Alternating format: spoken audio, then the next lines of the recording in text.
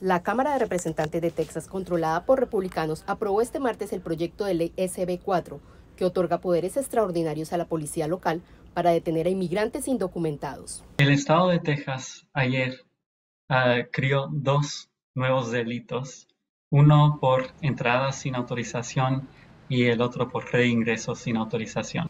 La Unión Estadounidense por las Libertades Civiles, ACLU en inglés, afirma que la nueva ley deja abierto el espacio para detenciones por perfil racial.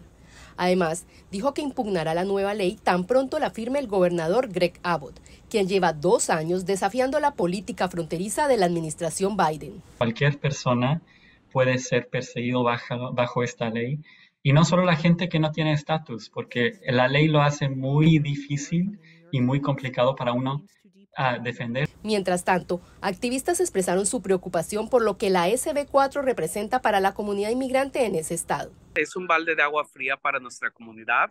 El de repente sentir que estamos en un estado seguro, en un estado que en pasados años no había pasado leyes tan anti-inmigrantes. Cifras de aduanas y protección fronteriza CBP indican que en Texas las autoridades federales detuvieron a 1.216.501 personas durante el año fiscal 2023, de un total de 3.201.144 en todo el país.